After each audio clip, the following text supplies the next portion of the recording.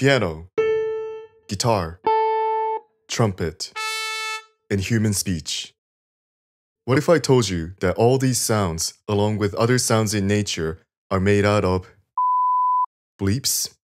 Let's explore the building blocks of sounds. Most of our first encounter with this bleeping sound was probably something along the lines of when you were a kid and watching trashy reality TV shows while your parents were not home. Every two seconds, you hear being used to censor out those bad words. Unlike these impure words coming out of their mouth, that bleeping sound is the purest form of a sound and it is called a sine tone. Of course, it is way more than something that is electronically generated to be used to censor out bad words on TV. The pitch or frequency of a sine tone can be described using hertz. This is 440 hertz.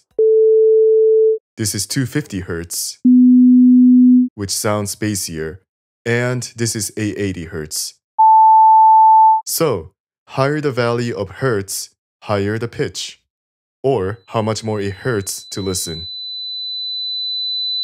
If we do what is called a Fourier transform, any sounds in nature, including musical instrument sounds, can be broken down into layers of different sine tones. Everything we know and love is made out of bleeps. Before I can explain this further, let's learn about spectrum analyzer and frequency content. Here's a spectrum analyzer that shows the frequency content of a sound in real time. You may have seen a circular spectrum analyzer on a YouTube video like this. Unless you're a whale or a dog watching this video, our range of hearing is from 20 Hz to 20 kHz. To better understand frequency content and spectrum analyzer, let's take a look at this trap beat that I quickly cooked up.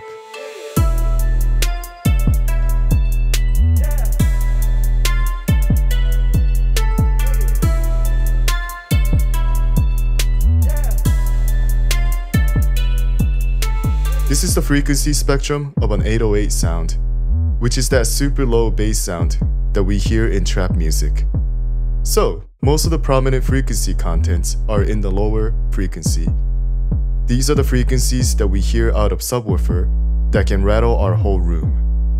And we see that there aren't that much higher frequency contents here. So, we wouldn't exactly use an adjective like bright to describe this sound. As a good contrasting example to an 808 bass, let's take a look at this hi-hat sound. These contain higher frequency contents. 4 to 8 kHz and above gives a sound its sizzly and bright quality. And we won't be able to just play a hi-hat sound and shake a whole room, because there aren't that much, if any, lower frequency contents. Okay, now that we have a better understanding of how to look at a spectrum analyzer, we can further explore the building blocks of sounds. So what exactly do I mean by saying that sounds are made out of bleeps? Let's play the note A4 on a piano. We can think of these peaks that we see here as different sine tones that are combined or layered together to create the overall piano sound that we hear. When we talk about a pitch of a note, in this case A4, we are talking about its fundamental frequency, which is often defined as the lowest frequency and usually the loudest in these layers of sine tones. In this graph, it is this lowest peak right here. It says it is 440 Hz, so let's take a look at a table that shows the note and frequency relationship. A4 is indeed 440 Hz. Quick side note, Ableton does things one octave lower. So when we say A4, Ableton says A3. Standards are confusing. Let us filter this sound so that all the frequency contents other than 440 Hz are filtered out and gone. And we roughly got ourselves a sine tone. Well, what about the other peaks? These frequencies that are greater than the fundamental frequency of a sound is called an overtone. Let's have a closer look. The next peak above 440 Hz is this one, which is about 880 Hz. Okay? What about the next peak? It's about 1320 Hz. Hmm, interesting. How about this one? 1760 Hz. We might be seeing some patterns here. Let's do some math.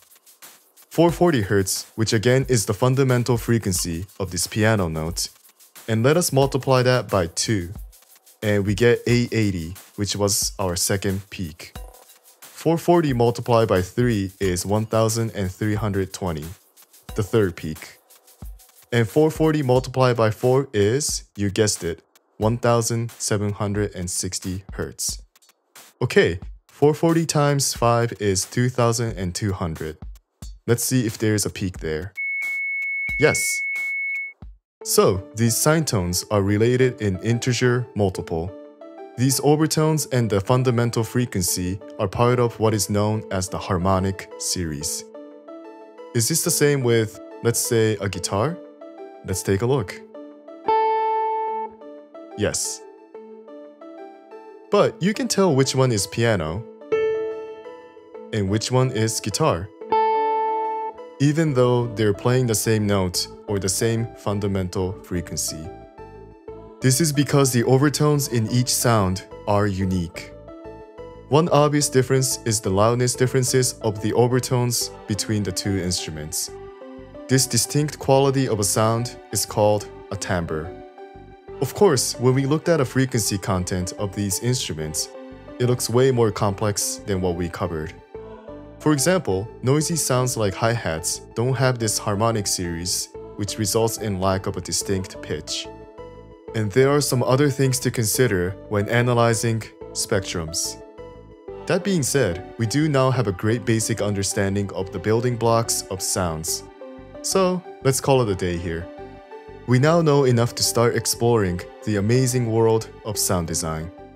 So, you might be thinking to yourself, well, if we stack sine tones on top of each other, using a synth or pure data, we can create all kinds of different sounds and even try to emulate acoustic instruments.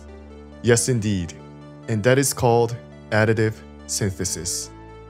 So, here's an additive synth with both even and odd harmonics, and this is what that sounds like. And we can also do only odd harmonics, and that sounds like this. And who said we have to stick with whole numbers? The sound of bells have inharmonic spectrums, such as these. Let's have a listen. So, that was a very basic overview of sine tones, spectrums, overtones, harmonics, and additive synthesis.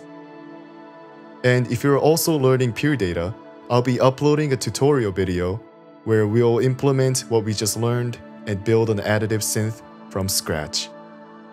In next week's video, we'll be exploring subtractive synthesis. Alright, see you in the next class. Bye.